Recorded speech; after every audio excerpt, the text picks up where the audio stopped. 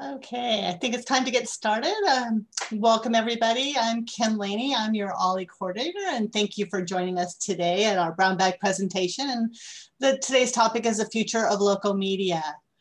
Um, this year, OLLI at HSU is celebrating 15 years of lifelong learning on the North Coast. We have a great lineup of classes this spring and we want to encourage you to visit our website to learn more. Throughout the year, we will continue to celebrate our 15 years with many classes being offered for a low mm-hmm. $15 fee for our OLLI members. If you are not a current OLLI member, we encourage you to, to join today and help us reach our annual goal of 1,000 new and returning members before June 30th.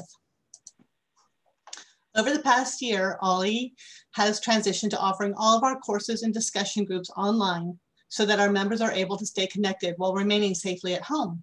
In addition to our brown bag presentations, another way to stay connected each week is with to attend the discussion groups Let's Connect with Tracy Barnes Priestley. All of our brown bag presentations are made possible by the Friends of OLLI at HSU.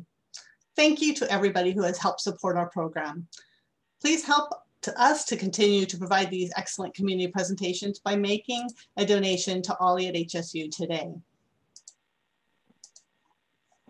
This is the best way to contact us. Email is um, always the best way. Thank you. And quickly, before we get started, I wanted to remind you that when you do sign up for classes, it's helpful if you register early. Um, during busy times, there may be a delay due to the volume of people signing up for classes, and we want to make sure we get you your class um, link in a timely way.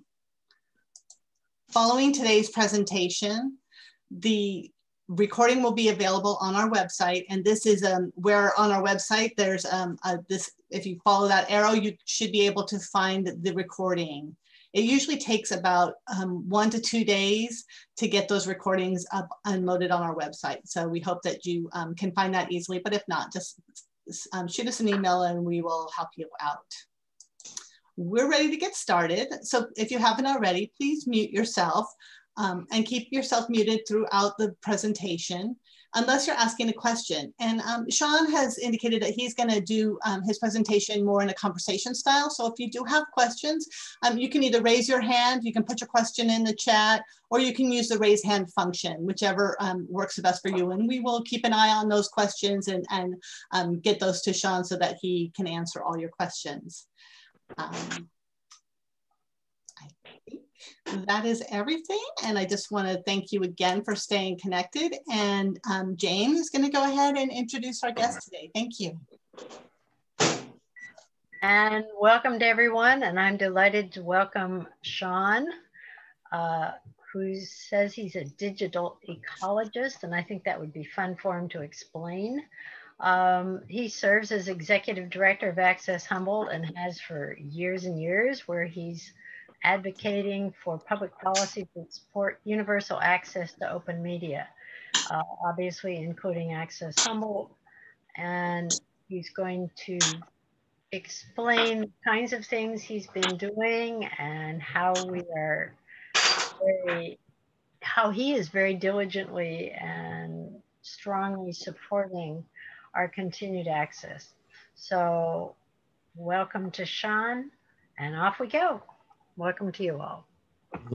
Aloha, Jane and uh, Kim. Thank you so much for um, everybody for being here and taking some time to catch up and hopefully talk story about what you think the future of local media looks like.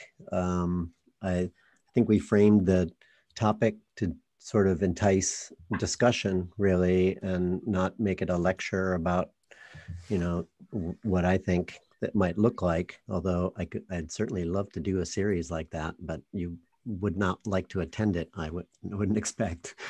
But um, I did share in in the chat a document that I just want to point to because what I promised to do is keep populating that with more links and uh, background information, and it's um, it's just basically an outline for this talk that I'm going to use right now, and um, I don't know if folks don't have access to uh, to that or would prefer uh, I can share that, but it's just text at this point.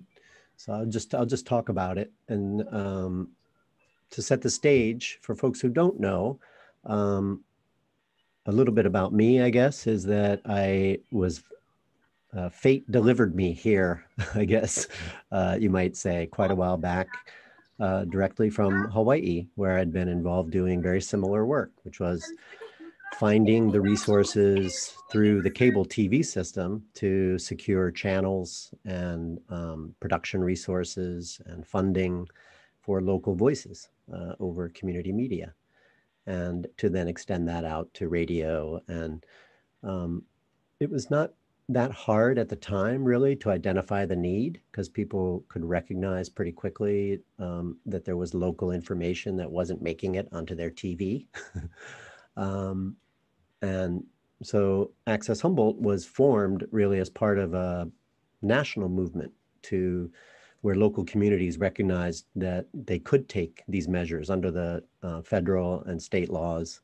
Uh, local governments had the ability to negotiate with the cable company and set aside channels and resources. So uh, I can talk more about that dynamic, but the story for Humboldt really comes when probably a lot of folks on uh, you know that you know were involved with this visioning that said what if we organize the county and the cities all together and they collectively bargain negotiate with cox cable um, because they're going to need everybody's permission to tear up the streets and run cables and wires over all the poles ducts and conduits that are built on public property that are acquired and maintained at local taxpayer expense. That was the structure of the law. So um, that negotiation occurred at the same time that Cox sold the cable system to Suddenlink, um, which had a different owner at the time, uh, based out of Kansas City.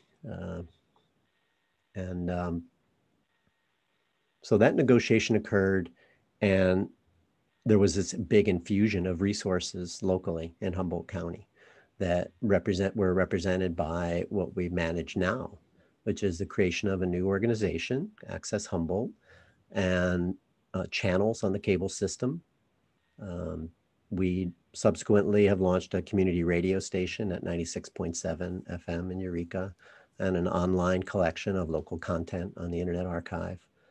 And then part of that franchise deal was also having dedicated fiber optic links between the media center and 20 other sites around the county, including the city halls and community centers, the library locations. And um, there was a very specific map of that. And then there was a significant chunk of money, chunk of money to fund the development of a community media center with the studio and equipment needed to um, operate five channels over the cable system, four on Suddenlink and one for Southern Humboldt and another related system, and launch a whole bunch of new programs and services.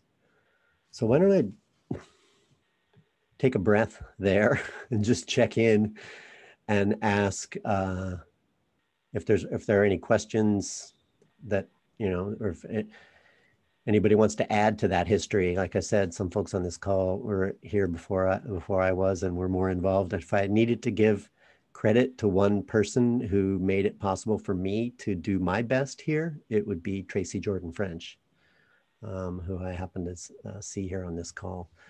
Um, but anyway shout out to tracy but it's obviously a team effort. I mean, it's not. Uh, I don't want to. I don't want to turn it into a personality discussion. But this community decided that this was important, and politically, all these jurisdictions aligned. They wrote their laws together, and they basically worked together. And it's not that common for county and six cities to pull together and build something like this. So that's. When was that, Sean? Ah, that would have been well, it, the stage was set for me to arrive 15 years ago. So, um, right about that horizon. Before that, they, they were doing this work beforehand? Yeah, that would by piece, piecemeal. So Arcata has its own storied history uh, that involved um, some controversy. And I think the city recognized that um, and this is part of the legal framework that you don't want the city itself running this. You need a third party, you need an intermediary, you need to create a nonprofit for this purpose. So Access Humboldt was really designed as a best practice. And if you look at our board of directors, it's you know it's designated members to represent segments of our community education sector the government sector the nonprofit sector and the membership generally so there's this really interesting design in the whole organization. It looks a lot like a joint powers authority but it's not. It's a private 501c3 um, behaves like a public agency in terms of openness and transparency and um, our presumption of accountability. So, um, so those are some of the, I, I guess I would describe those as like our hard assets and our ongoing expectations of service and what we do, the channels, the media center, radio station, you know, production and distribution. I'd say what's a little different about um, access compared to like broadcasting is um, there aren't those obligations that broadcasters have for um, curating the content. That is, cable access was early into the game of unfiltered content. I have to say that used to be more dramatic back in the day, but now with YouTube and the stuff you can find online, it's not like access is any any uh, more out there than what you can find on the internet. Um, so that has all changed in the time that you know we've been doing this work. Really, that shift has occurred. And I think that's the big conversation here is um, old media, new media, and the way that we interact with the media itself. In the old media, we selected from streams of content that were available. And if it was media other than books, which you can go and look up through your Dewey Decimal System, uh, and thank, thank God for libraries, um, and other kinds of print material, but in the, on, in the broadcast space, you had linear channels. That is, you receive it, you select, but somebody else is a gatekeeper. That stream of content is curated, it's designed, it's typically fund. The funding of it is pretty clear. Most of the time in commercial media, your attention is what's funding it. That is, your attention is paying the bills. So the advertising, you'd say the advertising is paying for it, but what the advertising is paying the station for is your attention so there's a dynamic that's built into commercial media at whatever level. But um, anyway, I, I digress a little there. That's the difference between commercial and non-commercial. But the difference between local and non-local has gotten more and more extreme over time. The trend that we see that's very clear, uh, I talk about old media, new media, in the old media and in the new media, uh, maybe a little less in the new media, but the old media structure is still in place. That is, the, it's very concentrated ownership. There's a control in place for the curation and distribution of content. Now, new media uh, is a completely different model in a way from the consumer's relationship to the media, to the information. Um, the, I assume there's a universe of content that's out there. It's available to me. I reach out into that universe of content and I pull down the content that I want when I want it. It live might be important to me or it might not um, if it exists, it's available to me now, and I choose when I watch what I watch. Um, that used to be radical. Now it's come. Now that's how we, you know, that's how we watch TV is uh, on demand. Um, you don't wait for it to occur. You go and make it happen when you want it. So that's a very different relationship with the way that people um, use and interact with content. And I think that sounds a little abstract when you look at it from the media side of the equation, but when you look at it from the new perspective we have since the pandemic, it's like uh, if you're not connected, uh, anyway, uh, you, the difference is more stark. Anyway, I, digress a little. Let me go back to um, make sure I cover this important ground, which is so Access Humboldt arrives as a cable access voice. You know, we have channels on the cable system. We reach anybody with cable. Our first um, problem is, what if you don't have cable? Are you not entitled to this content? We're airing gavel to gavel coverage at local government meetings. We're all the free coverage for culture and arts. Um, it's available for free to the community, but only if you have cable.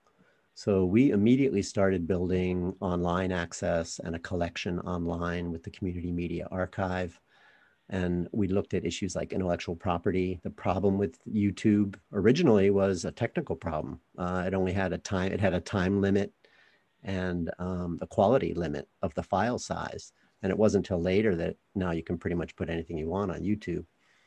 Um, but it has still has a structural problem, which is it's monetized content, and it's also running through a commercial filter. That is, um, the algorithms that are used to manage intellectual property online me, on online media outlets, even including like Instagram, will prevent you from using content that the algorithm doesn't think you have permission to use. Um, and that turns into a very important filter. Um, and I can talk about that separately if you want to get into intellectual property. That's a different issue. But um, so what we realized for Access Humboldt, backing up, is that we really needed to reevaluate what is our mission going forward. It's not that old world anymore. The world is both old media and new media.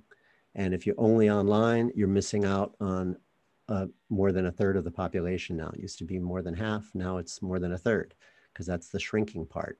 People who are using old media are older, they're lower income, and they're less educated by general um, demographic than people who are using new media, who are better educated, younger, and um, wealthier. So the digital divide sort of in the media landscape was clear, and now it's become even more clear. Uh, as being online has become critical. So Access Humboldt has been trying to figure out, okay, what does, what's our best role? Where, where do we need to go in the future landscape?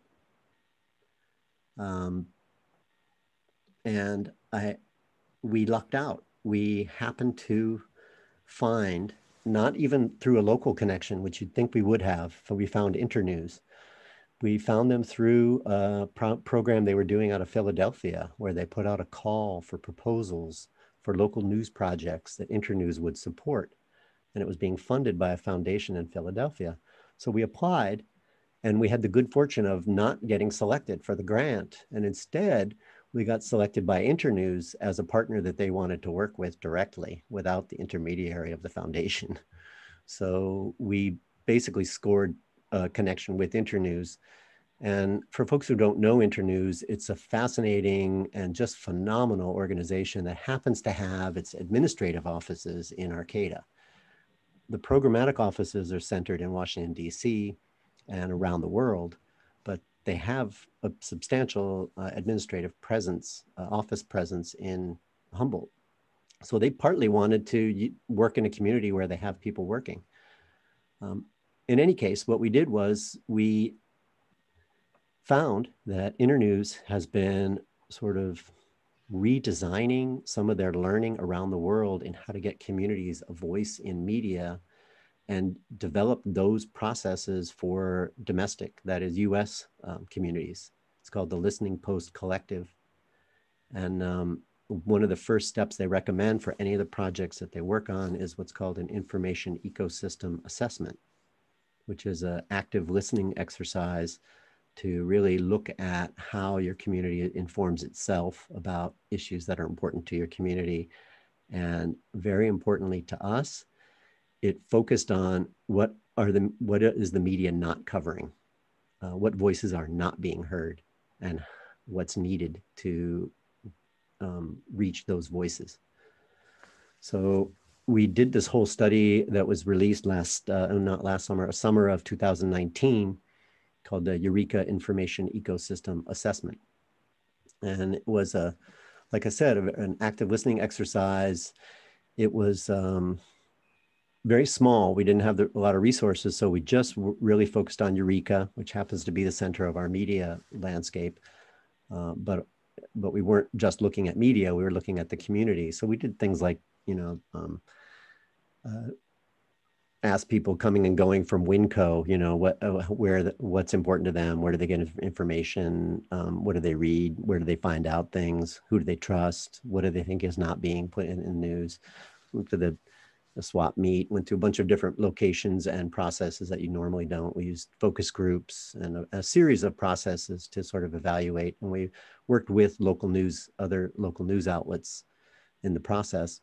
But we came up with a series of pretty simple recommendations that have really been guiding our work going forward in the development of a new project that we're calling Redwoods Listening Post. And um, the focus there is to de uh, develop sort of solution oriented local news projects.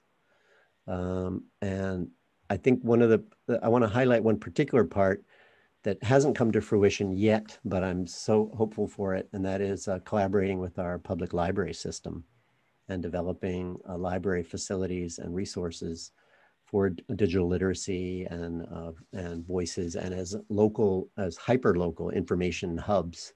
Figure every library branch is a, is a hub of a community information system. Um, why don't I take a pause there and just see if I, uh, I haven't even seen your guys' faces. I'm looking at my, my notes. Any questions or comments uh, at this point? I, I realized uh, we did that information ecosystem assessment, you know, before the pandemic. So it's like, so what, you know, what, you know, and we actually had started to implement it just last, you know, a little over a year ago, just prior to the pandemic shifting the whole landscape.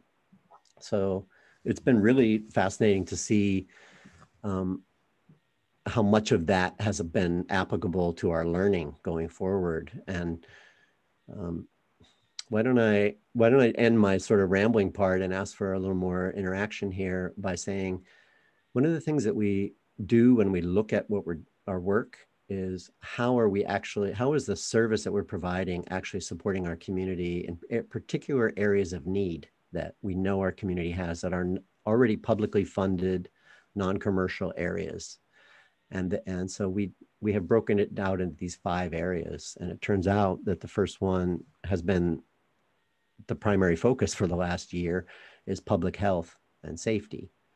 And then the second is education we work with every educate every education institution in the county and every education enterprise in the county to um, advance their communication needs and interests. Economic and community development, you know, the investments that our community makes in our own community and informing those and resourcing those. Um, I will make a quick note that we're one of the few organizations that really is pushing hard on the linkage between open internet, uh, that is net neutrality, and local community development. That is, local small businesses rely upon an open internet to be able to compete in the online marketplace. Um, our fourth area is culture and arts, and I think this one is sort of obvious. And I want to note that it's been very exciting for me in the last year to see, because we've been working on this for several years, but with very little traction, quite honestly. Uh, but in the last year, we've had amazing strides in getting Spanish language programming produced and distributed through various outlets. Uh, we have a KZZH programming. We have on our on our TV channels, on our online resources now, uh, a lot more um, programming in Spanish language in particular, but we're also doing Hmong language programming as well. Um, and, um, and the last but not least is civic engagement. And the note I want to make here is, you know, we have spent so many years trying to help every little local jurisdiction record their meetings. And it's been a challenge because the cost of doing it and the old rules under the Sunshine Law did not allow for virtual meetings, did not allow for public meetings to be like this, where we're all in different locations and participating in a conversation. So it was not possible to have these meetings prior to the executive order that set aside or waived enforcement of parts of the Brown Act. So we have this new world now where imagine all of the public meetings that are occurring on Zoom, all being recorded and archived and available somewhere. Imagine all that local information. Oh my God, it's amazing. Talk about civic engagement. It's too much. It's like drinking out of a fire hose. So I um, I did want to share a little bit that this is, there's so many legal, uh, technical, uh, regulatory. I know Jane has encouraged me to talk about consumer point of view. People are obviously very frustrated at the lack of uh, competition in the market for um, broadband internet access, broadband access. Um, we've had uh, issues with retransmission of uh, local broadcast over cable and over satellite. So people are familiar with those issues. We have very specific work we're doing in advocacy with our uh, federal and state governments. Uh, there's legislation that we're working on now in the state level in particular uh, to, uh, on the one hand, fund broadband access and on another to give some jurisdiction back to the local government. Because uh, this is the piece that I skipped in, at the same time that Access Humboldt was created, more than a dozen years ago, um, the state law was amended to prevent local governments from doing what Humboldt did. that is, it's no longer the local government's jurisdiction to negotiate the benefits of a cable franchise. It's all done in a ministerial process through State uh, Public Utilities Commission. So we have a that's called the Digital Infrastructure Video Competition Act, or DIVCA. So the legislation that's pending this year, SB 28, is actually a very constructive legislation that would start to give local governments back some of their jurisdiction in enforcing cable franchises. So that's an important piece that we're actually tracking very specifically. And I'll, I didn't put that in the notes, but I will put that in the notes for those of you who have that link for the shared Google Doc. I will add that. Sean, um, yes. we were in danger of losing that control, weren't we, and losing our stations? Well, this is what happened with DIVCA, the Digital Infrastructure and Video Competition Act, was legislation proposed um, by basically by AT&T and Comcast, by the large providers. And what they promised was, if you will get local governments out of the way, then we will have competition and everybody will have multiple video providers. So the theory was AT&T, for example, I live in Eureka, AT&T would have a fiber to my house and I would have a choice between Suddenlink and AT&T. Um, of course, that did not happen. But that was the promise they made back when they got that law introduced was if you would just get that local government out of the way, we would do it. So it never happened. They got local government out of the way, but the competition never arrived. So this review of that policy and saying, so, so that is the problem is that they did take that jurisdiction away. Today, the local government's hands are generally tied, quite honestly, in regard to cable franchise enforcement in terms of broadband access, have basically no jurisdiction or authority. We were grandfathered, is that right? Because we came in right before they passed that law? That's and correct. We had the ability to negotiate and we got our five channels, is that right? Correct. So we basically were able to retain the Access Humboldt's, uh, of those assets that I described to you, the channels, the funding stream um, is ongoing. And so that's all grandfathered in. That's correct. The problem that we're seeing is, um, or the trend, the troubling trend we're seeing is that um, people are disconnecting from cable. They're they're fed up with they're paying too much and not getting enough value for the service, and the industry has really been squeezing consumers for more and more per consumer. So we've had a decline in subscribership, an increase in money per subscriber, but a decline in subscribership. So the trend line is making that whole business more and more fragile. From our point of view, you can't keep squeezing more money out of fewer and fewer people and have a sustainable enterprise. So it looks like um, cutting the cord, the phenomena of people no longer subscribing to cable TV, um, will eventually be the demise of uh, our funding stream for cable access. So Access Humboldt's about uh, probably 75% of our funding, maybe 80% of our funding is coming through this cable franchise. So we're looking at our own revenue stream uh, declining over time. And that's part of our revisioning exercise. It's like, okay, so what else are we doing that's important? What kinds of services does the community need? If we went away, would we be missed? Or if we could do one more thing, what would it be? Um, so, but that is essentially the trend that we're dealing with now is cable TV is essentially going away over time as a discrete service and broadband internet access, broadband connections, connectivity to um, fast internet is, be, is taking its place. And that's why you're, you're increasingly focusing on streaming yourselves, your own product? That's correct. Well, we started doing that early, uh, and the rationale there was, hey, this is a we're managing resources that are um, belong to the local residents who pay property taxes, basically, because this is a a community asset. The cable company is using public property to build their system. They pay rent. the rent that's collected should benefit the whole community, not just cable subscribers, right? So the benefits that we're managing are intended to benefit everyone. So, beyond the cable channels, we've we've been pushing hard to do build this archive collection. So we've got like 8,000 videos that you can get for free off of Internet Archive in the Access Humboldt Community Media Collection. Um, and I, I, think I have the link in there. Um, so that is an example. The other thing that's new that we are doing now, and thanks for cueing me on that, Jane, is you can stream our chat. We have a channel that's streaming 24 seven. So you can go to accesshumboldt.net and then there's a, a tab up at the top streaming and there's a streaming channel now that you can watch anytime on Access Humboldt. Which so, of the four channels that we have up here does it access? In other words, it's what about all eight. the town meetings and, and yep. council meetings and things like that? Is that available? yes. Stream? Yeah, it's channel eight. Uh, it, we're changing the we're changing the programming of the TV channels. Eight used to be strictly educational programming and a lot of outside programs.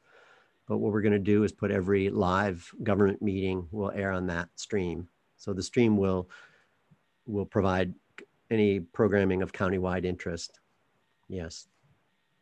And when meetings are occurring at the same time, yeah. Well, the thing about that is uh, the I guess the good news there is for folks who are trying to track these things is that those meetings are also typically either streaming on that jurisdiction's homepage, like the cities uh, and the county now have a, on their website a live streaming page you can go to on their website, and so it's available there. Um, I think um, more and more the the way people are using Zoom and interacting in virtual time and and you know uh, online and not needing to attend meetings. I don't know about you, but I'm spending a no time in my car now and a lot more time in meetings for some reason. uh, but uh, I guess that's the that's the new world order.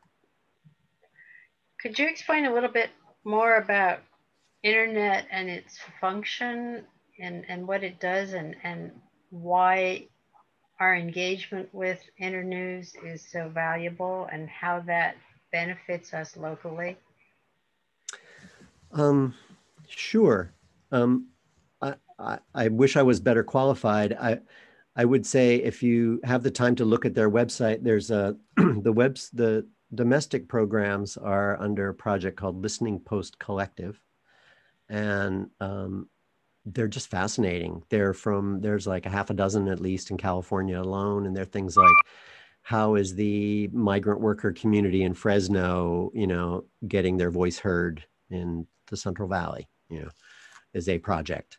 Um, and then, or how is Capital Public Radio reaching out to communities that uh, are otherwise not being heard from in their area of coverage? Um, some very exciting uh, projects.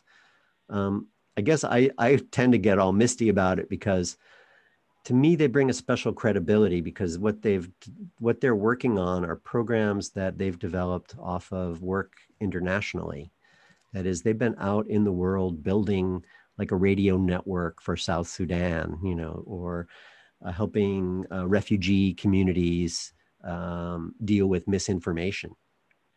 They've been very activated in the whole uh, pandemic, um, the misinformation and uh, lack of trust in information and sort of direct disinformation, uh, things that are occurring now in online information sharing um, they have a expertise about that and how to reach very specific communities with actionable uh, health information, with ongoing news and uh, self-informing.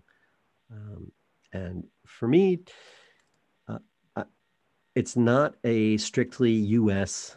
phenomena. This whole notion of humans needing to communicate. I don't know if folks who've heard me talk about this. We talk about Article 19 in the Universal De Declaration of Human Rights you know that everyone has a has a right to to be heard to have a voice you know to be express their views and to hear information so freedom of information and expression you know, to seek receive and impart information and ideas through any media and regardless of frontiers um, just a beautiful human rights statement um, easier said than done um, anyway, there's there's so much going on, and I, I know there's smart people on this call, so I guess I want to invite some other questions or comments like the media ownership. That one thing I did not expect when I got here was how unique, and, and actually our study found this. We are in an information rich location. We are an oasis of healthy local news and information. So FYI, the, uh, uh, the reason we're not uh, maybe all focused on this yet is we still have a newspaper. We still have weekly newspapers. Uh, we have lots of radio. Uh, we have two local news TV outlets. You know, that's freaking amazing. You know, in the U.S., that's unheard of. So, um, so partly we're we're in a position to plan forward from a position of strength and doing the right things already. So I think that I guess I didn't necessarily expect that. I didn't realize how bad it was everywhere else. uh, but because you always working on you know making things better so it was interesting to be reminded that we're actually in a very healthy place now the flip side of that is when i got here 15 years ago there were six local locally owned tv stations and you could track down the owner and you sort of knew how to influence things because you knew who to talk to uh, now nope there's no local owners of those stations um, sinclair, sinclair yeah, Sinclair Sinclair bought four, and then a Cox Media Group. There's Cox again, but a different company. Cox Media Group owns two. So there's the six. I mean, um, how did that happen? Just out of curiosity, what well, there are layers. There are layers to it. Uh, one thing that happened that was that was you may have read about in the news is the um, FCC. The, so this is where federal policy kicks in, right? The FCC allowed it to occur, and it was not allowed in the past for any one company to own more than X percent. I think thirty percent of the U.S. market in local um, broadcast reach. So Sinclair was uh, limited. Um, they had already there's other dynamics of why they had why they were pushing the limit. That's a different question but the limit was in place and broadcast ownership rules were um, standing. And then uh, um, under the trump uh, regime uh, Ajit Pai, who was the chair of the FCC, uh, undertook a rule change and just said, "Oh, you know what? What about all these other stations we're counting as stations, but they're, they're not really stations. They're, they're UHF stations. They're not VHF stations. So we're only going to count them as a fraction of a station.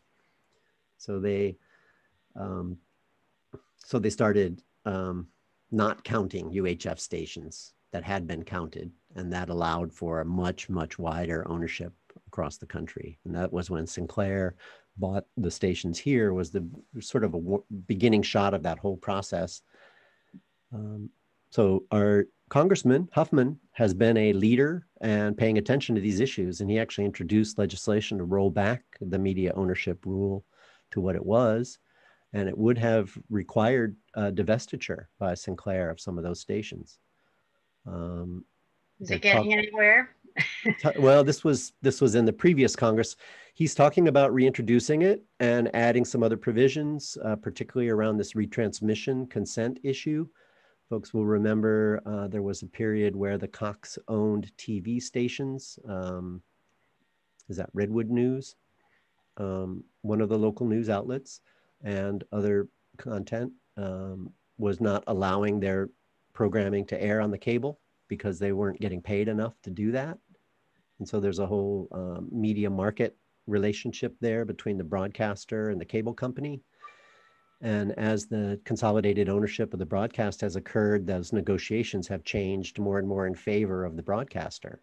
So, um, this issue of retransmission consent or um, a must carry uh, was the old policy was called must carry because we recognized how important it was for a local TV station to have a local audience on cable. And what was happening back in the day was the cable company bring in San Francisco station, you know, onto the cable instead of the local station. And so there was must carry, but then the industry shifted and they started making a lot of money off of charging cable subscribers to watch local broadcast TV. So my consumer advice is make sure you have an antenna whether you're using it all the time or not you might you might need it sometime so put a TV antenna on your uh, on your property if you have the ability to do that and uh, find out what's available for free over the air but that in turn endangers your cable subscriptions, which is your source of funding. And okay, yes. Is there is there a replacement source of funding for your cable funding that you could create that Yeah, would that- keep Access Humboldt going? Thanks for looking out for me, Jane. Uh, um, I would I'm say worried. I like. no. I would I would say yes. I mean, our, our general argument is that there need to be for localism, for local information to be supported. I mean, if you want gavel to gavel coverage of local government meetings, if you want free airtime for non-commercial messages, for education, for public health and safety, for you know my, my list, then where are those resources coming from exactly is the question and they can come through taxes and they can be paid for by those agencies to private providers. Or i'd say our general trend today is we need to be building our own public infrastructure. You know we need to uh, ensure that we can connect to each other without needing to subscribe to um, verizon or at&t or suddenlink or cox or whoever. What does that look like, Sean? Well, in other community, what it looks like is maybe the city setting up a um, open access network that would make it easy for neighborhood nodes to be set up. Would that have a connection to the internet? You know that the backhaul is all sort of taken care of, is set up in a way that you don't have to scale to do the whole community all at once. You can go sort of neighborhood by neighborhood. Um, I think those discussions are just starting. Uh, this is a little bit misty in the sense of we see in other communities where a city has built the municipal internet that it's cheaper and faster and better for the community than the private networks generally are. Um, Chattanooga, Tennessee is one of those big examples, but there there's probably a thousand of them around the country now where towns just realized, you know, we're dependent on AT&T. That's crazy, or whoever the provider in their area was, and so the community built its own, like a like building your own water. If you have a water system, you have all the same tools in place. You have a billing system. You have a, a- a ground easement access to everybody's house. You can run wires. Uh, places that have electric util- municipal electric utilities were early adopters, but if you think about it, um, there are lots of different ways to make it happen. I think the big exciting thing that's happening in Humboldt right now, if I look towards the future, is uh, in the broadband side, we've talked about middle mile. That is a connection between the consumer and the internet, you know, at a nearby node, the a middle. So for us in Humboldt, that would be Eureka to Redding, you know, or uh, Ukiah, or um, up north if we could make that path happen. But you have physical connections that you call the, mid, the middle mile. But um, when you look at the global network, um, there's internet backbone, which is the long hauls that connect, you know, Hong Kong and New York and London and, you know, whatever. The actually Reston, Virginia probably would be one of the hubs uh, in terms of internet. But um, it turns out that our Trans-Pacific uh, ocean easement from the old pulp mill is very attractive as a fiber optic landing site and that we are going to have multiple trans-pacific fibers landing here and in Arcata at an interconnection facility being available to interconnect with each other as well as any other network that's here. So we're not only going to have middle mile, we're going to have backbone infrastructure in right here um, within a couple of years. So I I'd say maybe within a year. Um, so this is a just a huge, exciting development. These things happen sort of in the background. You don't ne- they don't necessarily want any publicity until it's done. Um, but really, we're Humboldt is amazing. I mean, I I mentioned that you know I still feel like a newbie. I've only been here, you know, haven't, haven't been here 20 years yet. Um, but um, folks like Connie Stewart and the organizing that's happening with Humboldt State and the cities are, I think, very much looking at this issue of what can the city do to help people get internet. And one thing they can do is advance this backbone project. The next thing they can do is tap the backbone middle mile connections and make them available in locations around their cities. And particularly targeting areas that have not enough service or lack any competition at all. like Who's Blue doing Lake. that work, Sean? Who's actually, is there a committee? Is there some sort of uh, group designated to tackle this issue and make sure we get these benefits? Is it coordinated with Huffman? How does it work? Uh, it's sort of multifaceted at this point. I would say um, there is a, um, at the state level, they have what they call regional consortia. And the regional consortium for our areas, the Redwood Coast Region Consortium, and that would be Connie Stewart is the head of that, and Greg Foster and I are probably the three sort of people maintaining that consortium.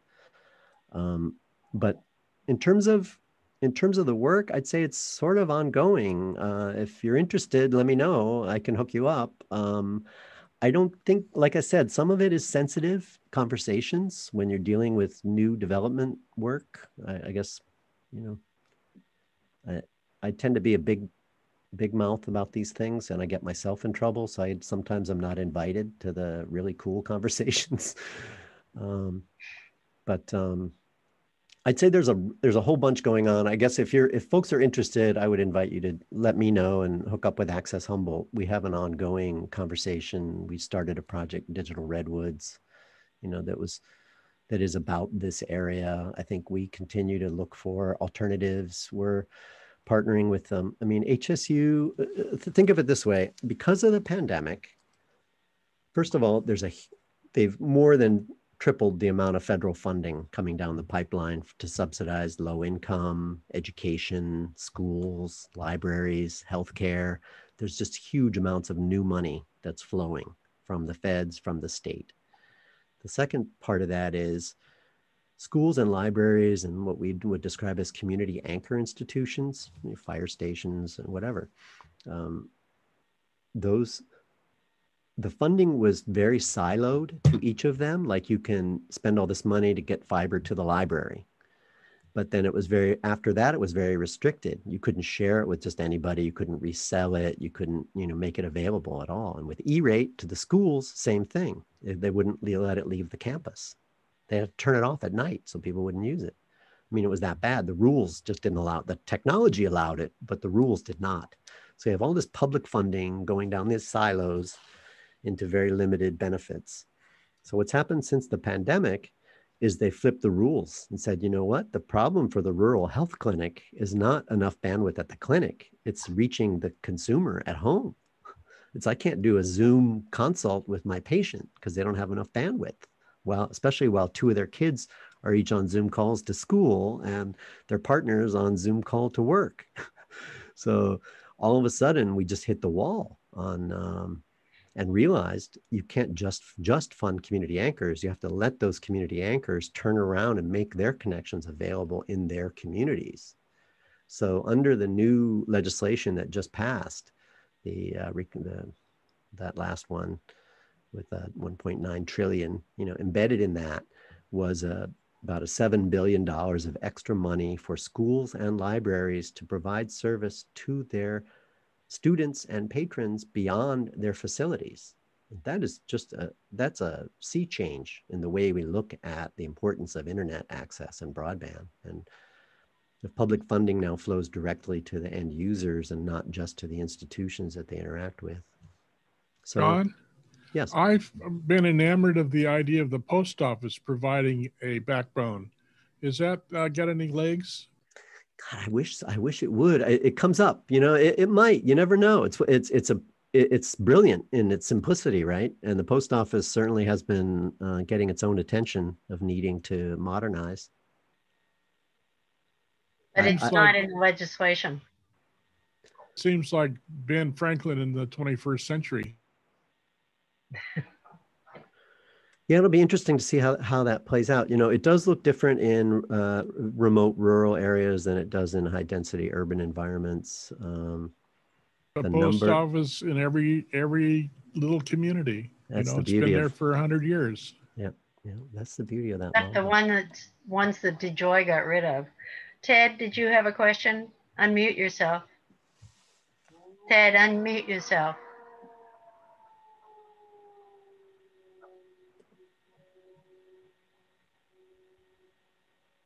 Good. There you go. I'm fairly new in this area, and so it's kind of confusing to me what you're saying. Could you, excuse me, could you describe the ideal system that you would be working toward. Yes, absolutely. Thank you. S sorry, Ted. I know I, am getting the weeds really fast. Um, in in my mind, the ideal local media ecosystem, let's say, would involve um, every person in that community being able to have their voice heard.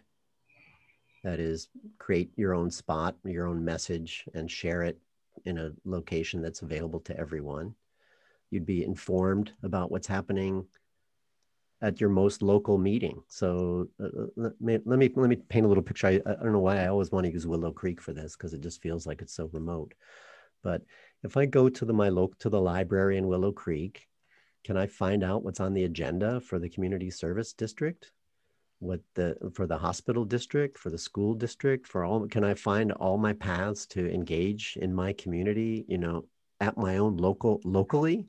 Now I used to think of that as a physical space, and now it's more like as a network space. Maybe my library needs to have a channel of just that local information that's relevant to me in that footprint of the community, that sort of micro community that I live in, what's relevant to me.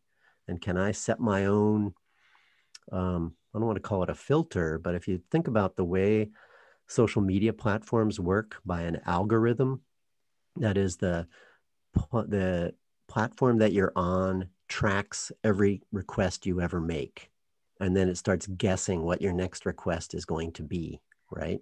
That's essentially what that's doing. Um, what if that was designed instead of taking money from your pocket to buy something, but to help you engage to get your voice heard in the community? What if we applied that same intelligence to a different goal? and I would say that would be a model, a shift in the model. So I'm, I'm not sure I want my voice heard particularly.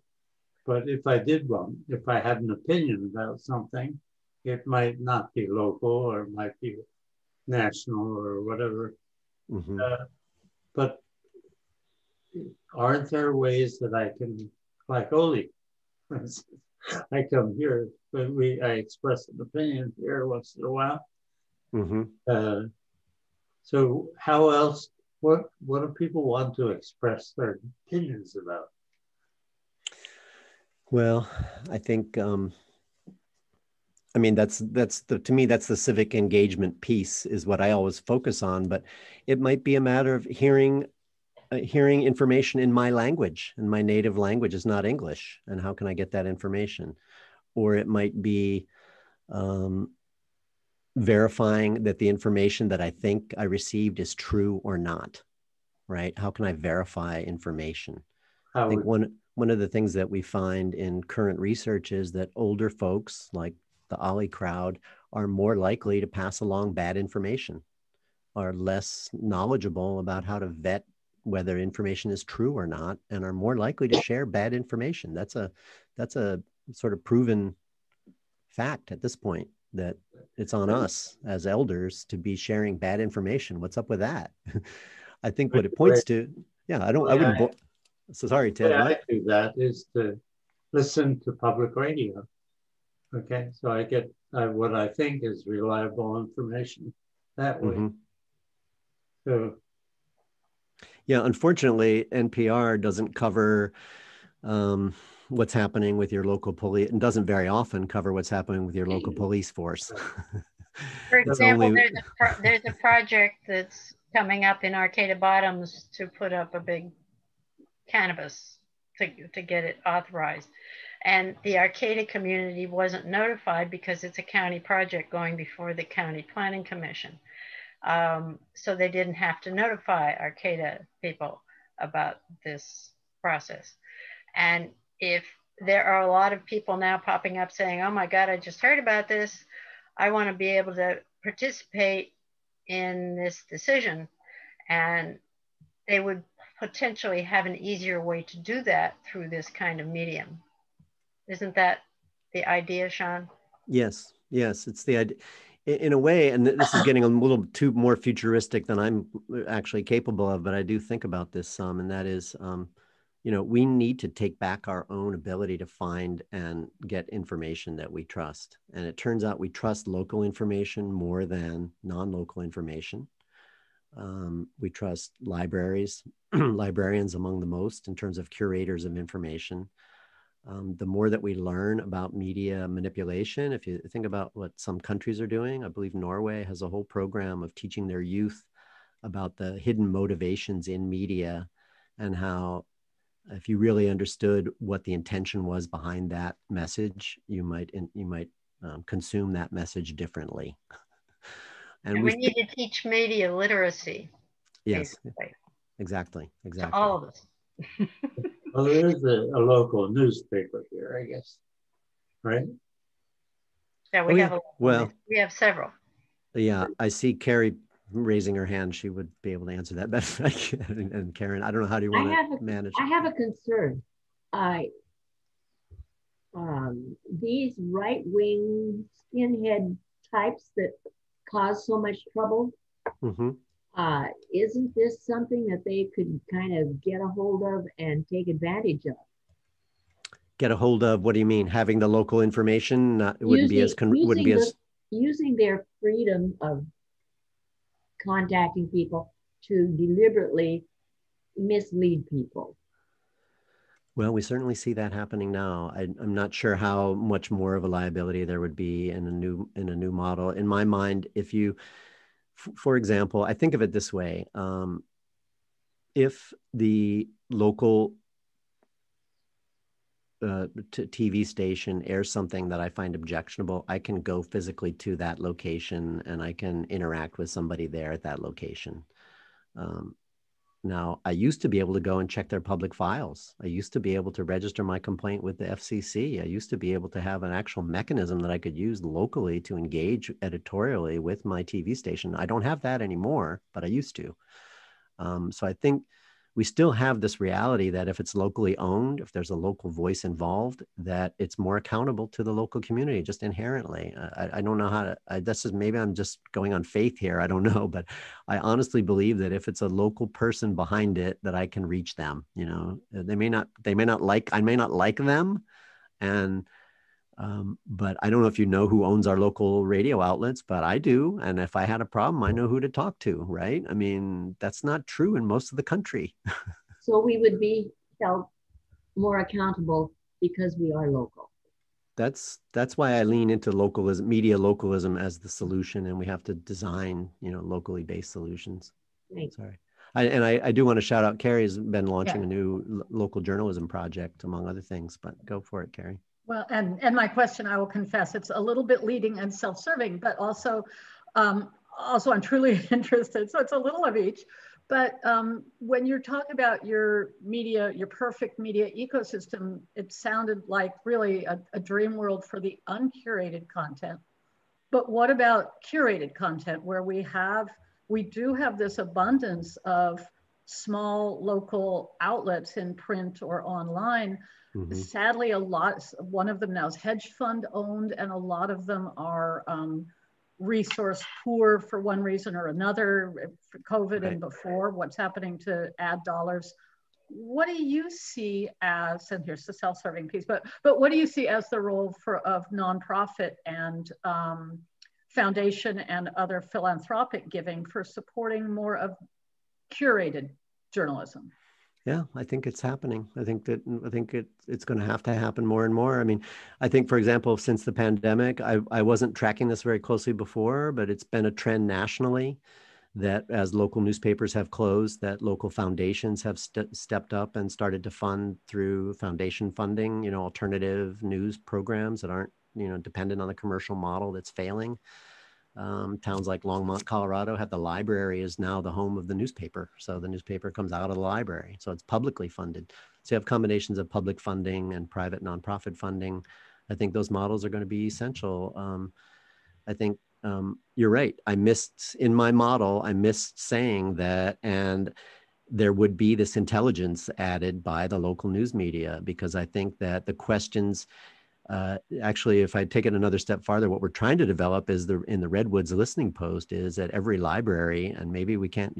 Pandemic has shifted our the frame on this, but at every library there'd be a little recording spot where you could walk up and you'd say, "Here are today's questions. Today's questions brought to you by, you know, your local newspaper, your local TV station, your local radio station, your local supervisor, your local city council member, your local, you know, agenda for the thing." And you can comment on any of these if you want more information before you comment, click here and go find more information before you comment. It's always good to be informed before you speak, but you can record your three minutes of testimony right here on this camera with this microphone and hit send and we will deliver it where it needs to go. It needs to go to the board of supervisors. It needs to go to the, you know, community service district. It needs to go to the school board meeting or it needs to go to the newspaper. You're right. And I think what what we've underestimated, what I have underestimated, quite honestly, in my life, is the amount of work that journalists put in, and the time and the intelligence that journalists add, and the integrity of the journalistic ethic.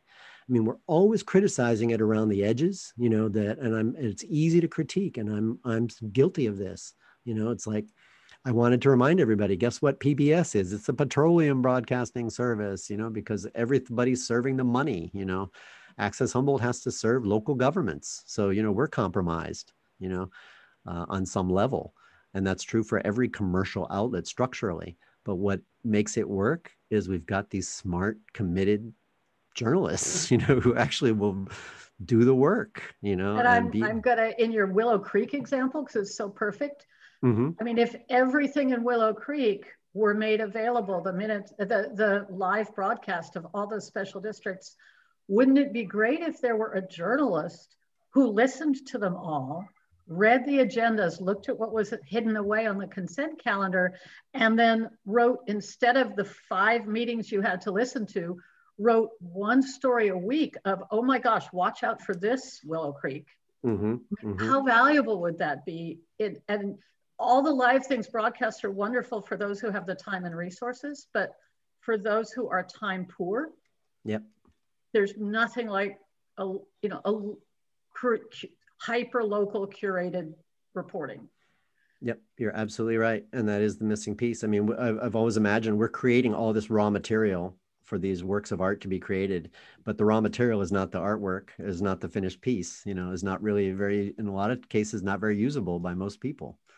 But um, with the right thoughtful curation, I mean, people have here's an example. I met a new supervisor who just got elected and said, Hey, come and meet with us and we'll show you around what we do and talk about what you do. And said, I know exactly what you guys do. I studied every, I went back through the archives and I studied every meeting and I followed these issues. And in fact, there's this one issue right now where a developer is committing this and that. And damned if they didn't promise to do that before and they never did it, you know? And so they're finding in the record, you know, the accountability that we're talking about and making a difference. But so you're right. It, it, it's nice to have somebody do that in a thoughtful way for you, but you can also do it yourself. I mean, every activist group can go and pull from that raw material the you know the story that they want to tell and can tell that story. You know, so yes, and. Sean, haven't you also been collaborating with like the Times Standard and other uh, print media to help each other out? And what does that look like? Yeah, well, uh, we started. We took this Redwood Listening Post concept to the Humboldt Area Foundation, and we pitched it to them as a, something that they should help us pursue. And uh, then the pandemic hit, and they were in regroup mode. And this is how I learned for the first. I, I didn't realize that they were directly funding one of the news outlets. North Coast Journal gets direct funding from Humboldt Area Foundation for stories and they branded it as the Community Voices Coalition Project, which we signed on to be part of. So there has been some public funding, there has been some community foundation funding for local news work. Um, and from our side at Access Humboldt, we've tried to build a system that is shareable across every news outlet. And it is tricky because the news outlets are commercial competing with each other outlets. I mean, like we, we have an editorial review advisory group that includes a Lost Coast Outpost, includes North Coast Journal, uh, includes time, you know, time, like you mentioned, Time Standard. Um, I mean, I think one of the beauties of Access Humboldt that I really appreciate is the ability to work across every group. I mean, we're not, we're charged with not uh, taking one position over another and being neutral in that sense. So Time Standard is a really good example. They um, and each of these media outlets has their own challenge of revenue streams and who they reach and how they reach. And someone helped getting on TV, someone helped turning into radio, someone helped you know uh, reaching different communities, whatever it is.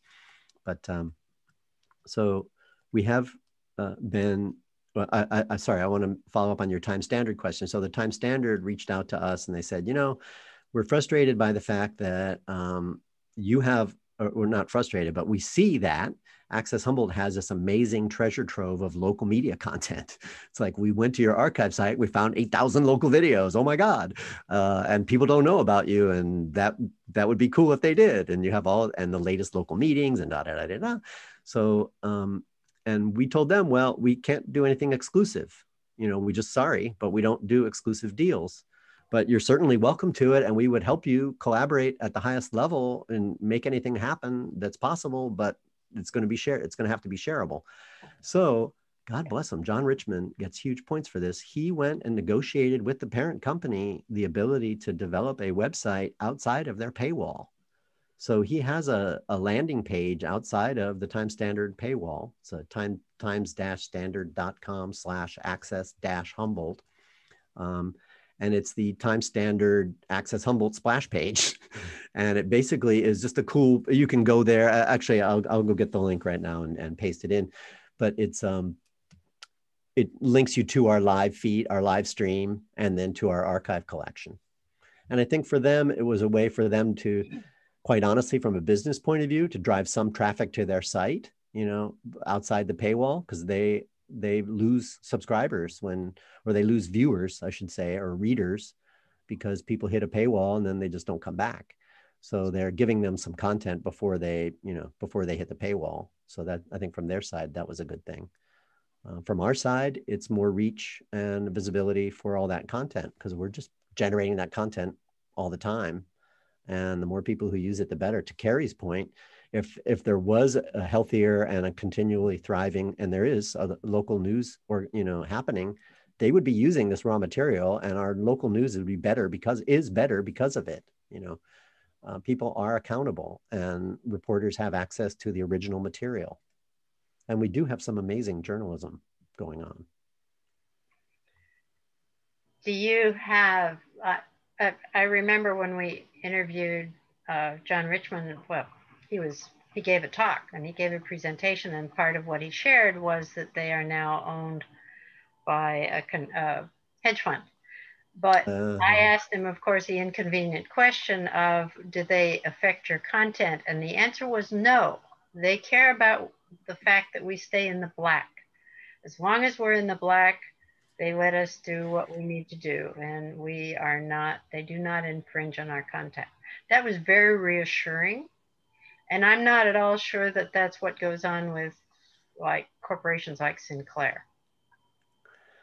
Yes and no. Um, I think I want to encourage everybody on this, everybody who's listening, that talk to reporters. If you see a story that did a good job, you know, let them know, hey, that was awesome. Thank you for the good coverage. If you see a story that's wrong, you know, reach out to them directly. You know, don't just grouse about it. You know, send them a note and say, hey, next time let me know. I can give you better information because you missed something here. Um, my experience is we get a lot of young reporters who are new in there. I mean, because uh, the pay is not there and we're a very small market, certainly in broadcast TV. The churn is every three years. They do short contracts, so we're lucky if somebody stays longer. But that they they pay attention to feedback. They want your feedback, and they will. You can have an impact. You know, on on the reporter. You might not have an impact on their their you know their parent company, but um, I don't think, for example, the North Coast News people. Um, I don't think they were really thrilled to be painted with that Sinclair brush. I don't think they appreciate the management trying to put words in their mouth and tell them the editorial positions they have to take. I think a lot of the actual journalists who work in some of those companies are are doing everything they can to maintain independence in their news coverage. So I guess it's an ongoing, it's eternal vigilance strikes again. if, if, do you have uh, suggestions in terms of what we, the public, the elder public, could do to help advocate for what needs to be done here locally? What, what would you like to see us do if we could to help your cause or the cause of local news?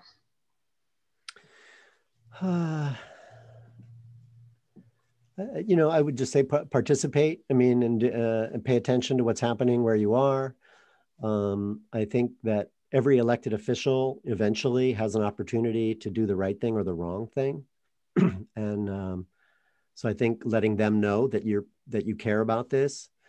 Uh, I would particularly pray uh, at the for the moment, or, or, I would praise Representative Huffman for his uh, focus on this and his work on this but remind him it is important. I mean, it gets buried in every other thing, it gets buried. Um, we have, uh, I would say, get involved with Access Humboldt because we do have regular ongoing conversations. We have some really cool new board members, or maybe not so new anymore, but like Molly Kate, who's on this call, is a Access Humboldt board member. And um, we have open, you know, we have open conversations we, you know, we're really trying to figure out what are the ways because it is confusing. I mean, I really appreciated Ted's comment. You know, the more any one of these aspects of our issues you get into it and it gets too complicated too fast and people care but they don't know what they can do about it so i would say i'm sorry i don't have a simple answer from this one call to tell you it kind of depends on where you are and what your issue is but if you're interested you know feel free to reach out to me. Uh, I'll share my email address. It's just Sean at accesshumboldt.net. Um, and join Access Humboldt. We're very affordable. It's like $25 a year, and you get a newsletter and you get access to some of our workshops and trainings and stuff. We're doing a meetup uh, uh, event on April 2nd, just for anybody who's interested. We used to do a media makers event too. Um, I will, uh, like I like I committed to. I will. I will um, update that document that I shared in the link. So there's a Google Doc that still hasn't been updated that I will update uh, for you for everybody who's interested, just by basically adding some more links for you and um, and I'll put my email address in there too.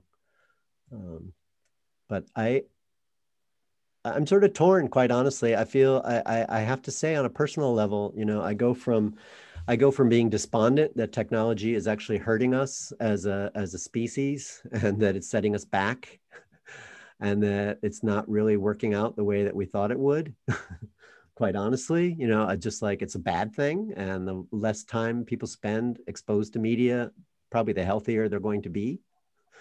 Um, so I go from that extreme to you know there's so many new tools and possibilities and there's so many new voices to be heard that we haven't heard yet and there's so many ways that those voices can express themselves um, that uh, you know i stay actually very hopeful about it um, that i think we're going to see lots of exciting new things happen um, and i don't even know what they all are but um, we're going to try to be part of it. I would say as long as Access Humboldt's around, we're going to keep, you know, we're going to keep kicking.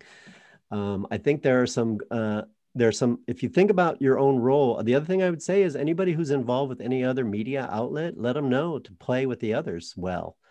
Um, I will just, I, I hate to go here, but I would just mention we have a, we do have one broadcast station here that is, you know, nominally local, but actually is a franchise of a national um, PBS network and they do occasionally manage to do some local content but in uh, in general they are taking money out of our community and bringing us you know programming from outside and not so much supporting local voices as they could. Um, so we keep offering to help them do that more and better. And um, they don't appreciate it. so I'll just be honest about that. Uh, but maybe if other people see openings for that, maybe I'm saying it wrong, or maybe I'm seeing it wrong, or maybe things have changed. But there's a really important asset in our community that is over the air TV, uh, which will continue to be free for people who have an antenna and can receive it. So radio um, and over the air TV, I think, are sort of making a resurgence. In terms of the future, you might have thought they were going out, those are actually coming back in my view. Um, There's a question in the um, chat. Is mm -hmm. there much of an Asian American Pacific Islander presence in Access Humboldt? Um, well, some of our staff uh, self-identifies as half uh, Asian Pacific Islander, um, but um, so that you'll hear me say aloha a lot because of my own roots. I'd say we probably have had programming from that community, uh, but our staff is very small. So um, in terms of presence in Access Humboldt, um, I, I, I, guess I'd just say what, uh, whatever programming we receive, we, you know, we, we share that. Um, I, I personally have an, I have to say, I personally have an interest in particular. I've been talking to my friends doing messaging around COVID and there's been some very powerful messaging and i'll just share this as a little learning exercise because i'm uh, i used to make media a lot more and now i mostly theorize about managing it. But um, taiwan had a really good uh, uh, example i think for us. Part of their response to covid was they had they identified within their within this uh, the federal government um, comedians who could help them develop messaging that would be both humorous and pro-social and every time there was a negative um, sort of misinformation or gossip or some kind of thing came out, like, hey, you know, they would spin it immediately into a joke that had a pro social result. And it was just a, to me, a, a smart thinking way to say humans are communicators. You, you're not we're never going to come up with one solution that's going to you know solve the way we communicate with each other and everybody's going to be happy. That's not going to happen but uh, we could sure use a lot more health pro-social humor so uh, so anyway uh, i guess I'll, i guess i'll share that i don't know if that uh, maybe that's my pacific islander um, my, my favorite uh, uh, on the pacific islands i'll just say my favorite hawaiian word because some people find it entertaining is ha'a ha'a and ha'a means humility. So. Not too many have that in the media area, it seems sometimes. Although, although I do want to say, I think the pandemic, the combination of social change and pandemic has refocused and the rise of white nationalism and the threats to uh, diverse communities um, and in a place like Humboldt has really focused people's attention on what are the constructive uh, avenues available to me to support this, you know, the future that I want to see here. And on a personal level, I don't know why it hasn't happened already, but it feels like we've been working on this for a long time. But anyway, sorry, I, I digress. But I, but I guess I understand and appreciate that diversity, equity, inclusion, in the work that I do policy wise, there's uh, money directed there to tribes in particular, to uh, Black uh, education institutions and Hispanic serving institutions like Humboldt State. There's federal funding coming for broadband and internet access for those communities. There's digital inclusion resources very specifically about equity.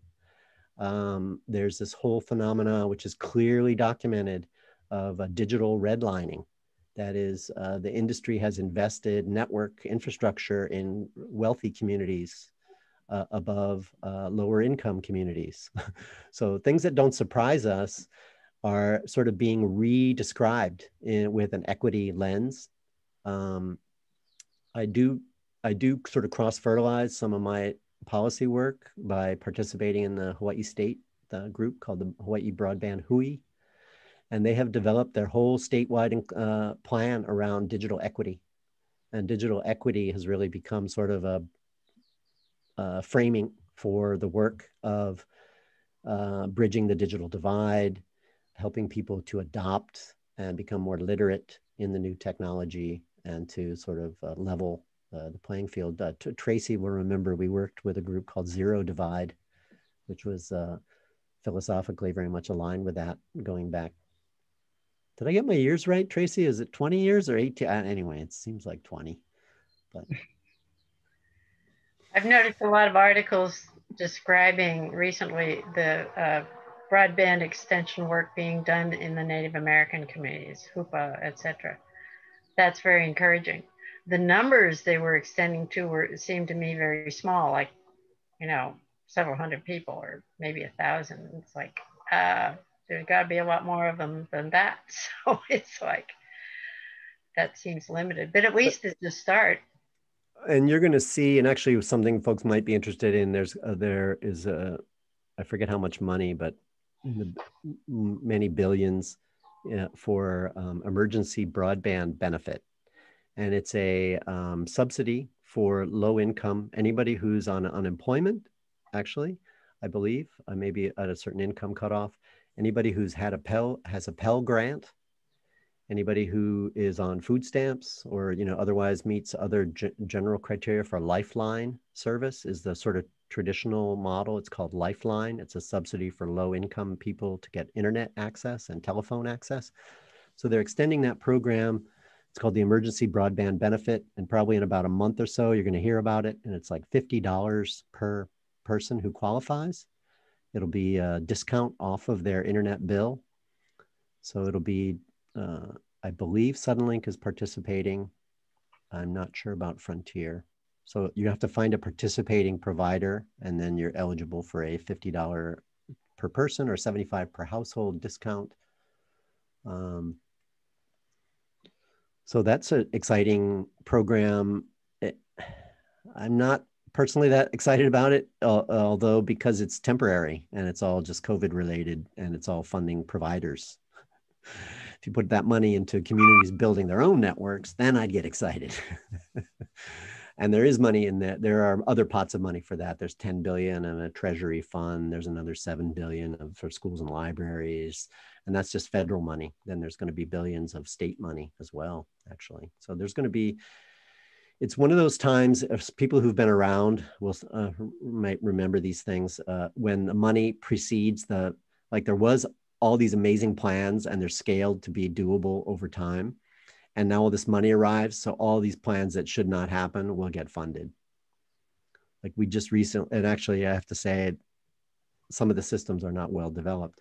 Uh, FCC recently did that what's called the Rural Development Opportunity Fund, and they funded $800 million to Starlink, the satellite internet service provider, Elon Musk's company that hasn't even proven its ability and its affordability. It's $100 a month. Um, so, like I said, on the policy side, I can critique that. On the as a techno geek, I have to say you should see these freaking devices. They're amazing. I have one. It works.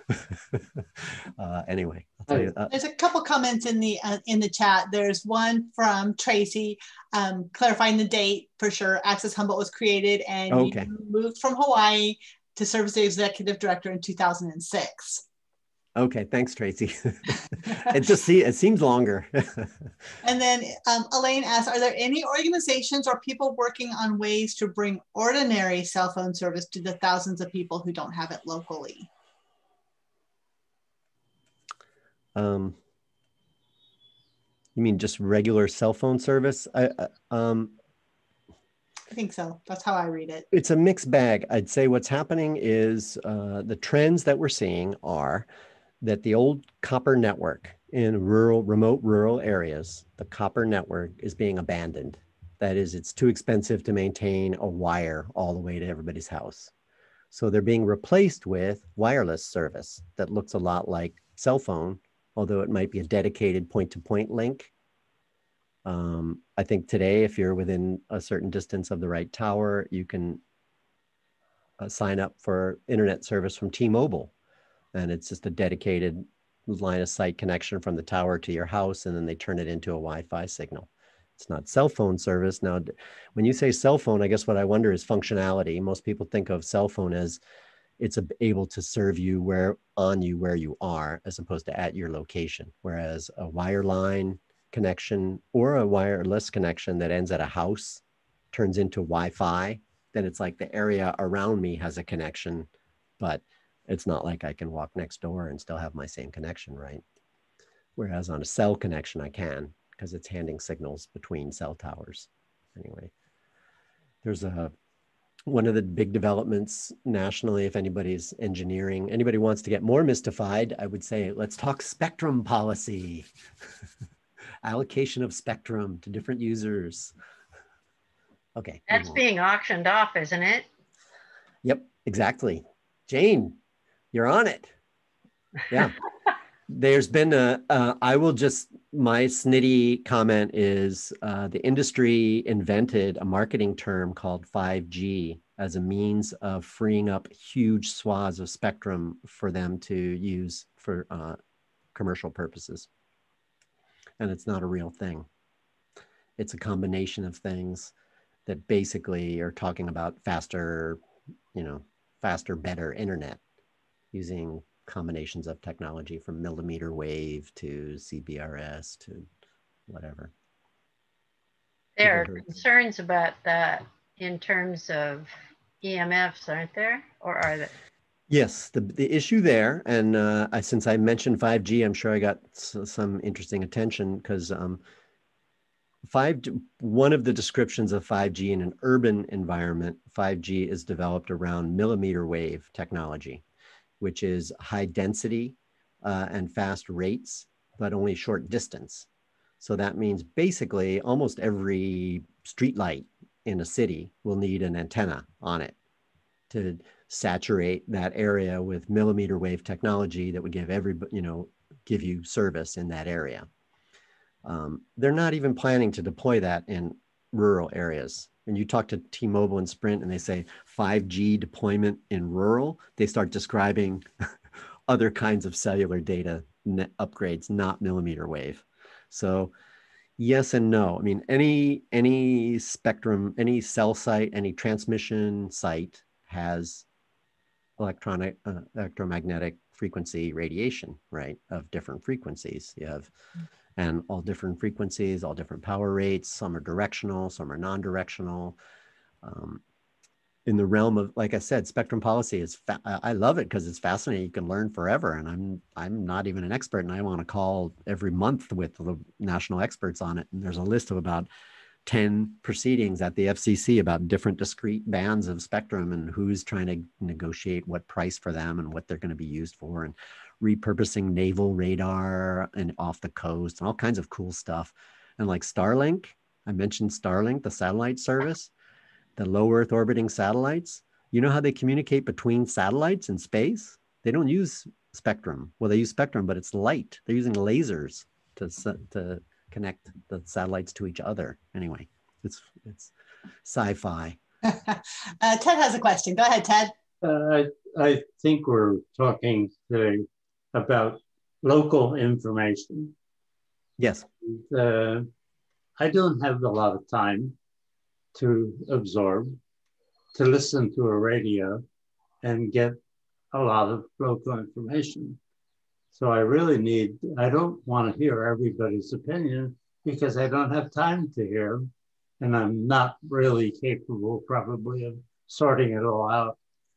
So I really need somebody to do that mm-hmm. uh, and to have a small number of places, someplace I can go, turn on the radio, tune it to the right frequency, and listen to the local news of the day for a half hour. And, and do you do you find that now, Ted? Do you find that somewhere? Where, where do you get your information now? I get uh, public radio. I do that on the radio, uh, the BBC News, and uh, the, the, the PBS NewsHour in the evening. Mm-hmm. Those are my main sources.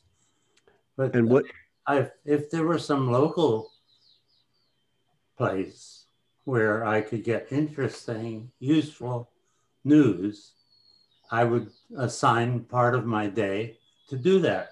Mm-hmm, mm-hmm. But just a part of my day because I've got other stuff going on you know, other folks might have suggestions for you, but um, uh, there's not a lot of. I mean, you got the TV newscasts, which I don't. I have to admit, I haven't watched for a while. Um, KMUD was doing a local newscast on radio. I, I don't know if the does the are they um, does the Eureka Radio Group do? Anyway, this is part of the inventory that I, I'm I'm not, not as clear as I need to be. But is that what I should do to get I don't know. I'm, I'm curious. What do other people think?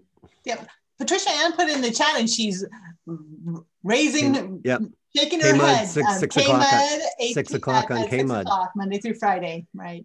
I, I, would. I mean, it's a it's a locally generated local, and it's focused on local news. whereas most of those ones you cite are not very local, right? I mean, does that solve this whole problem? I don't. It doesn't solve this whole problem. I'm just trying to help you, Ted.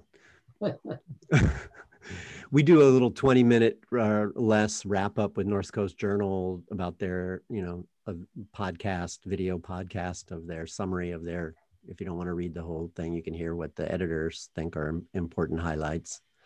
We're starting a Access Humboldt is starting a, uh, with Redwoods Listening Post and some help from a couple of some radio producers. We're doing a, a Redwood Community Voice, a Redwood Community News podcast, and the goal there is uh, we're going to be interviewing other news out every other local news outlet about what they're doing and stories that they're working on. So it'll be almost like a news review of other local news outlets. So, um, when will that go live? It's just starting. Uh, it's, uh, I'm hoping within the month, but I, I, I need to get that launch date. We're going to do it'll be like a soft rollout, um, and we're sort of building for it. But I, I don't know the answer, Ted. Uh, I I think it, it's the right. You think your question is correct? I don't know the answer. I think it depends on who you are and what news and information you want. And we're we're focused at the edges rather than the center. Maybe we need to focus more on the center. For example, we're working really hard to help El Leñador, the Spanish language newspaper on campus, to get their news stories shared out uh, to the wider community um, on radio and on TV and, you know, so forth. That might not help you, but it will help people who aren't finding Spanish language news. But El Leñador is really a uh, solid publication, but they're not regular. They're not weekly. It's not easy to put out. well, I, I, I, have a lot of opinions It'd be interesting to survey just this group, like wants to hear them. I, right. I, mostly not local things that I don't know enough about the local situation to.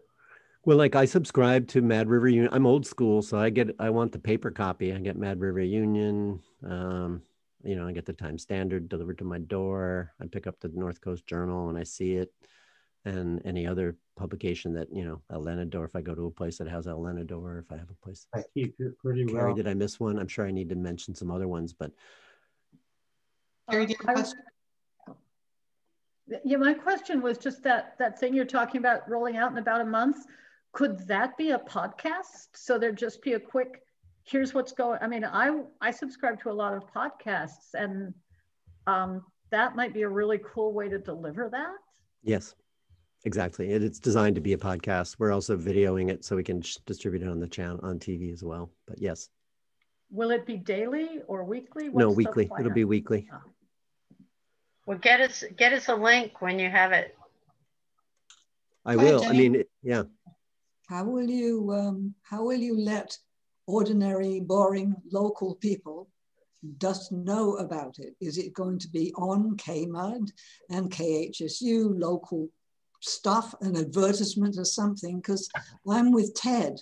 Um, I'm local, but ferreting out which bits to read. It's like, sorry, I read this whole meeting. And that's taken me half my day. Mm-hmm. I need to go for a walk or I'll go crazy.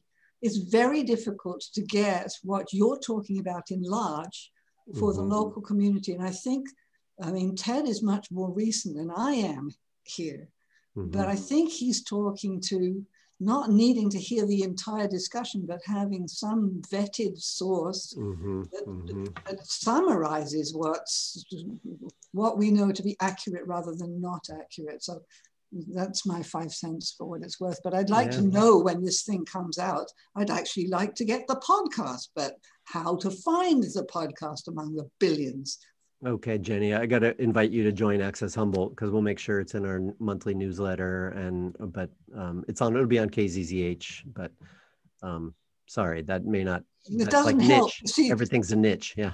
Yeah. No, this is this is really for me. I'm sorry, I didn't mean to be talking about it particularly, but I do feel like I'm an idiot. I'm going to be going on 80. I am not stupid.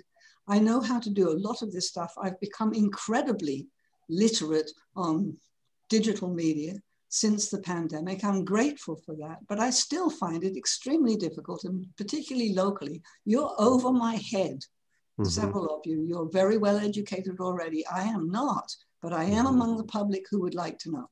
So, mm-hmm. Thanks, Jenny. That's actually really helpful. And to me, that's one of the high value um, propositions of working with the library is mm-hmm. that librarians are professionals at information concierge or curator or research, you know, to help you vet and find. And if this is why my vision, I imagine you would, the library would generate that, you know, sort of curated, vetted resource. I have to say, you know, I, without too much focus on Access Humboldt, we start off being the anti-curation outlet, you know. So this is new. This is a sh- big shift for Access Humboldt, uh, right? I mean, yeah. the idea of us being responsible curators, we don't like that role. You know, we don't trust anybody to curate. We're all about, you know, we're gate crashers. I mean, this was our old story. So this is a rein, a serious reinvention, and I think um, a necessary one. I mean, I, as much as I love our old our old model, I think we see what happens with misinformation, with unvetted information, with the, you know, the kind of conspiracy theories and the way they propagate on algorithms on platforms. And we recognize that we can't just be neutral anymore. Mm-hmm. And that's a very hard change to make. You're, you're going to have an opportunity to reach all of us uh, after this show is over. You're going to write some kind of summary and give it, your, your talk will be recorded, I guess. So can we have you give us a nice summary of how to get, uh, how to interact with uh, local news as a, a typical individual?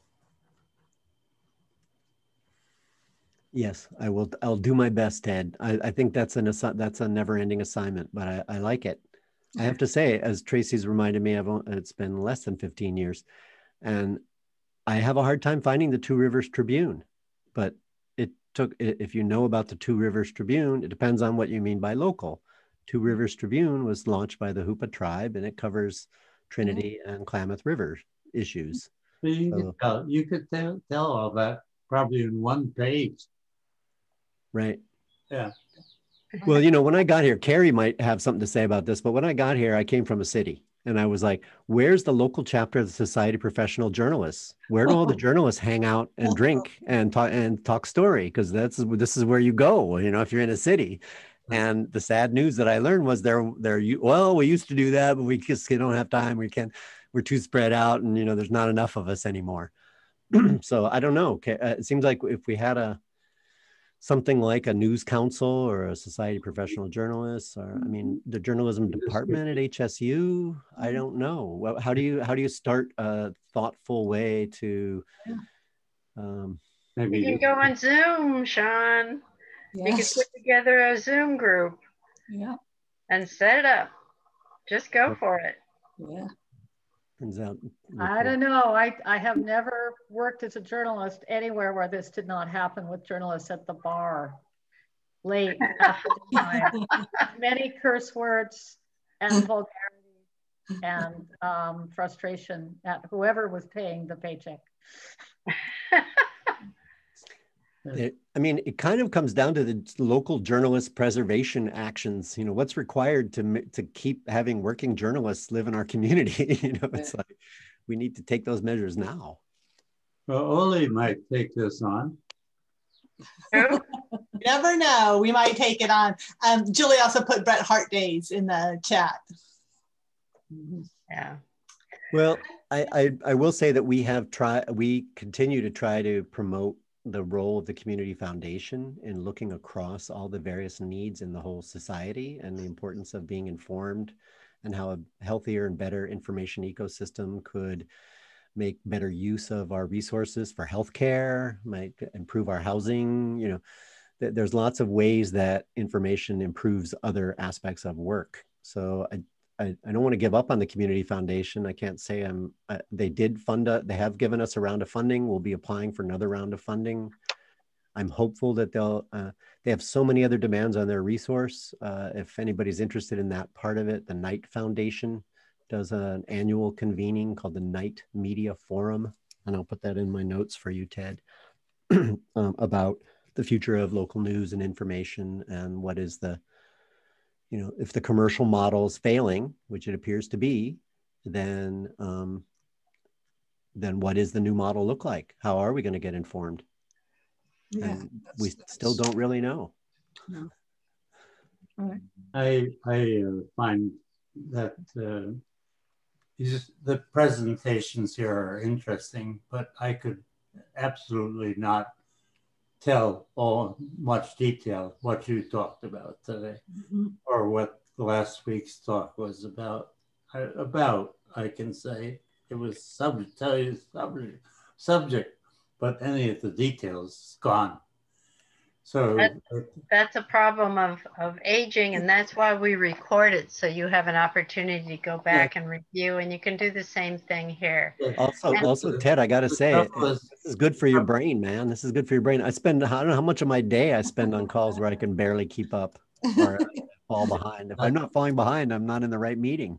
You know, the, the thing is that we had a nice talk last week also and uh, but I was offered a recording. Well, the recording is the same thing that I did at lunchtime. Mm-hmm. I listened to it, but I don't have it. It's, print is very different. Yeah. You know, Ted, if you take notes when you go through it, and you can do, you can control the speed, that I, helps sometimes. Yeah, I tried that a little bit, but. I, he's on to the next subject, but uh, get to the end of the word. Yeah. yeah. I can't take enough notes. Yeah. Well, could anybody I, else could, have any other questions? It really is nice to have. I want to turn the tables on you for a minute, Jane and Kim, if I can, ask you some questions. You got a second? oh, it's all fair. okay. So, uh, so OLLI, if I when I register for OLLI, I become an HSU student. Yes. I get like a humboldt.edu email address. I'm now, I got a, I got an ID card. I'm now a student at HSU, right? Yes, not, not matriculated, you're an extended ed student. So there okay. are, there are some big differences. Okay. So this is something I just learned about recently. Uh, research institutions around the world have a way of sharing their internet access called EduRoam. So that is if you are registered as a student at Humboldt State, you are now enrolled in an EduRoam account. So if you're in South Africa outside Johannesburg Research University, you can log in to the internet access there on your EduRoam account that you got from HSU. So my question is, if I keep my OLLI membership current, can I be can I be on EduRoam and get access to internet at any research university in the world? Wow. That is a great question. Uh, sorry, I don't know the answer to that, but I did write it down and I will look into that because I am an HSU student and I pay for my own internet. So I don't I don't know what what's going on with that, but I will look it up and, and I will let you all know. Well, cool. Well, I mentioned that I mentioned that you you know institutions are now looking at delivering their service off campus. So this is part of HSU looking at that too. It's like, right. okay, they can't necessarily pay for internet to every student, but what if they put an EduRoam server mm-hmm. at the library? And now if you're off campus and you want to log in to your account with a fast connection, you can go to a location that has an EduRoam service. then I started thinking, what? Oh, okay, that's only HSU students. And now it's, and if it's every OLLI student, and now I want every K-12 student to get an account. and, then, and, then I, and then I want their parents to get accounts. anyway, I will definitely look into that and let you all know what I find out. Thanks, Kim. I did bring it up to Josh Callahan, by the way. He's the HSUIT guy, one of the HSUIT people. So, and he didn't know. He, I could see his brain started clicking. Nobody's asked for this before, and yeah. it's new to them to even think about reaching off campus. Because what we were talking about was, can we do a project with HSU and Access Humboldt that brings? Because HSU has a 10 gig circuit. I mean, they have like more internet than they need and not so many students there anymore. And parts of our community have not enough internet and are looking for some.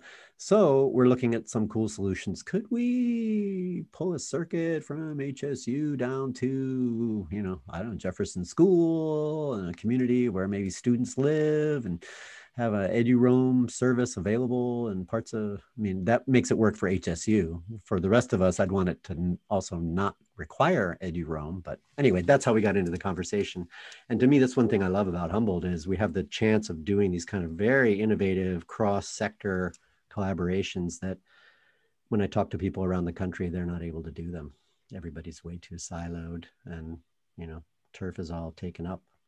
Well, we have run a little over our, our normal time, um, but Yeah. if you still have questions, we'll we'll we'll hang on and not, not in the meeting now. But if you do need to leave, feel free to leave. And um, and and does anybody else have any questions? All right. Well, it doesn't look like it. Um, In which which case, I want to thank Sean ever so much for all your time and sharing of information and, and soliciting questions and ideas